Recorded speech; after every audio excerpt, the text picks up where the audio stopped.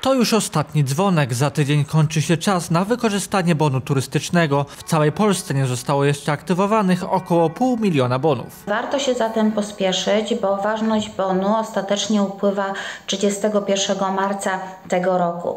Po tym terminie niestety nie będzie można już nim opłacić ani wypoczynku, ani też pobytu e, w hotelu. Od sierpnia 2020 roku za pomocą e, bonu e, rodzice mogą opłacać e, usługi hotelarskie lub imprezy e, turystyczne, co ważne na terenie Polski. Przypominamy, kto może skorzystać z bonu turystycznego. Bon przyznawany jest na dziecko urodzone do końca 2021 roku, na które przysługuje świadczenie e, 500.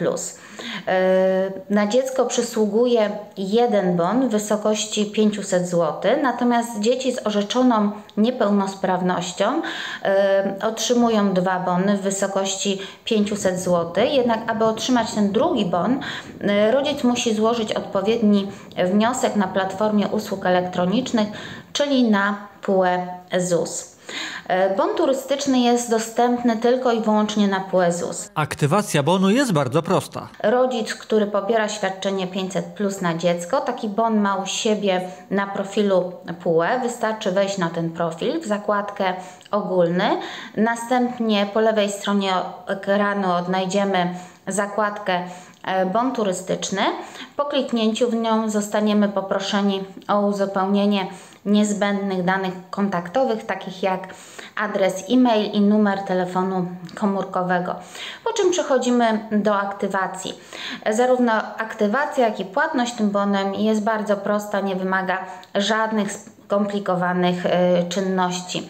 Y, Bon można aktywować w dowolnym momencie, nawet na dzień przed planowanym wyjazdem. Bon ma formę dokumentu elektronicznego, nie podlega wymianie na gotówkę ani na inne środki płatnicze. Można nim płacić kilkakrotnie, aż do wyczerpania kwoty. E, Bon turystyczny ważny jest do końca marca tego roku. E, Do tego czasu trzeba zrealizować płatność bonem, zaś sama usługa może się odbyć w terminie późniejszym, na przykład wakacje letnie. Płatności bonem można dokonywać w podmiotach, które zarejestrowane są na liście Polskiej Organizacji Turystycznej. W całym kraju jest ich około 28 tysięcy.